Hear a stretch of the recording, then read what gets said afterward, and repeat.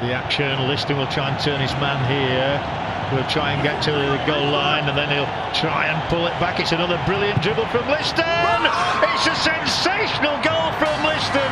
We've got another one here in Vasco. It's his first of the season. Boy, does he like playing against North East. All three goals he scored in Hero Indian Super League have come against the same opposition. Well, we have to say this, John.